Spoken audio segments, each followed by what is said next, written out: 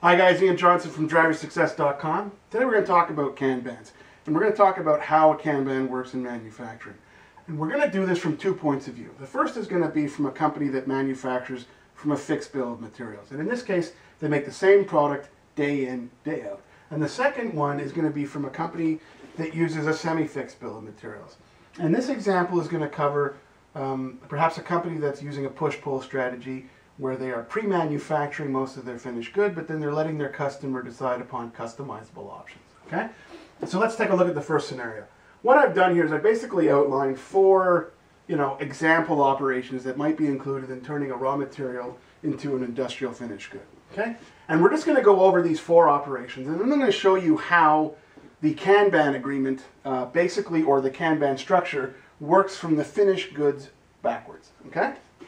So with this particular product, you've got cutting and let's say you've got cleaning. So these two operations in this first portion need to be done in order to move the semi-finished good to the next chain in the process, which involves CNC and perhaps you're CNCing aluminum or Invar and you have to do tapped holes or what have you.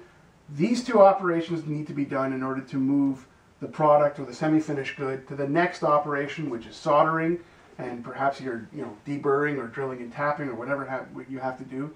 These two operations need to be done in order to move to the fourth stage, and in the fourth stage, tuning, assembling, and labeling has to be done in order to turn that into a finished good.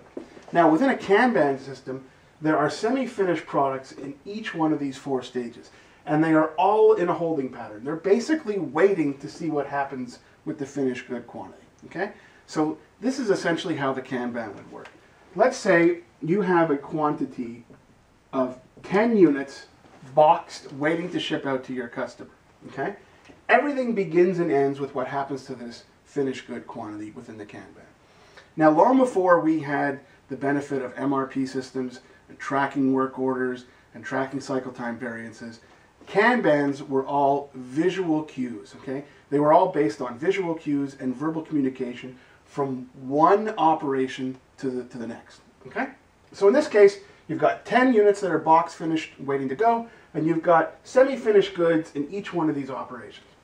What will happen is, when these 10 units have been purchased by your customers, let's say customers have come in, they bought all of those finished goods, this portion is going to say, you know what? We have an inventory count of zero.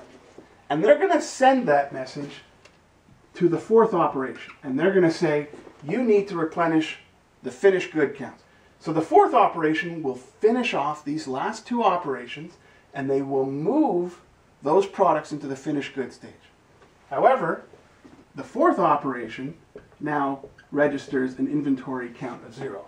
And their message and their need will go to the third operation. And they will tell the third operation, please finish what you have to do and move your products so that we can eliminate this zero inventory count.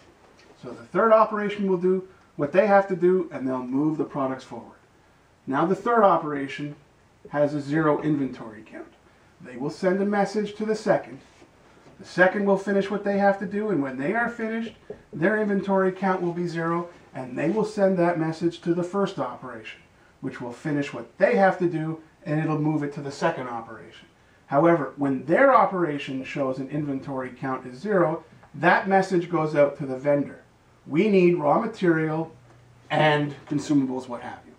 So the Kanban system works from what happens to the finished good count. And each one of these operations has semi-finished product waiting to see what happens with the finished good count. And the reason why it's a visual system is that at one time, individuals used to hold up cards. Okay, they used to hold up cards and say, we have a zero count, or they used to verbally tell the previous operation, we need you to replenish us. Okay, so it's a pretty simple system, but it works nonetheless. Now, what we're going to do with this uh, semi-fixed semi semi bill of materials example is, what we're looking at in this case is, here's a company that basically manufactures products that can be considered as customized. Okay. However, to start from scratch based on a customer order would take too long. So they want to shorten their product to market lead time. So what they're doing in this case is they are pre-manufacturing the majority of the product. Okay. So they're pre-manufacturing the assembly or the finished good. And let's say they pre-manufacture 80%. Now, this is something that a lot of companies do when it comes to emulating Dell. And I did a video about Dell's push-pull and I covered this inside of it. Okay, it's also a portion of an interview that I did with the Institute of Supply Chain Management. But essentially what this company is doing, it is pre-manufacturing and it is assembling this portion of the finished good uh, in order to be ready. And the remaining 20% okay, of the finished good is going to be driven by options. Options that the company controls. Okay? And the customer can choose any one of these options. And these options only include 20% of the work in order to finish off the assembly. So they pre-manufacture 80%, they combine it with the customer's options in order to have uh, a finished good count.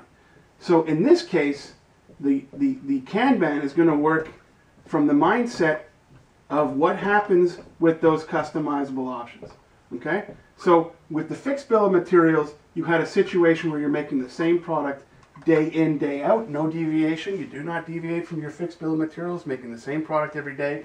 But in this case, you have variations, okay? So what they've done is perhaps, you know, we've gone from one to two to three to four in this example. Perhaps what they've done is with the pre-manufacturing stage, they've gone from one to three, okay? And this 20% is the fourth stage, okay? So it's a little bit different, but by and large, it's basically the same approach.